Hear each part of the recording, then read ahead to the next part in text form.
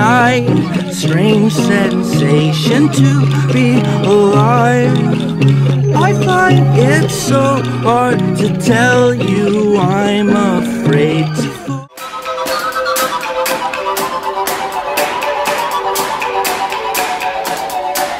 Comfort, comfort.